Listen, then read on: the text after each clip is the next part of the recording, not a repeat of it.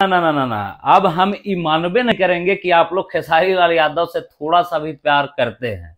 मतलब जितने खेसारी लाल यादव के फ़ैन लोग हैं, हम उनसे बोल रहे हैं कि अब हम, हमको भाई नहीं लगता है कि आप लोग अभी भी खेसारी लाल यादव से प्यार करते हैं।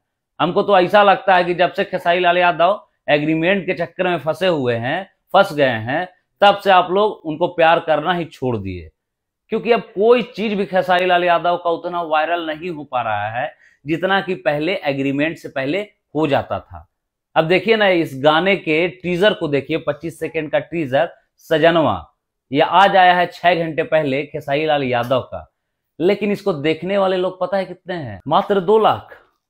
मतलब समझ सकते हैं ट्रेंडिंग मशीन जिसको आप कहते थे, जिसको हमेशा ट्रेंड कराते थे और जिसका टीजर और जिसका मोशन पोस्टर आते के साथ ही ट्रेंड करने लगता था और उस भाई को, सिंगर को आप लोग कहाँ ले आके छोड़ दिए?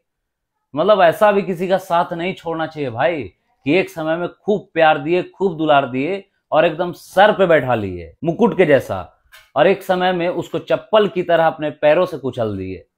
ये भी कोई प्यार नहीं होता है।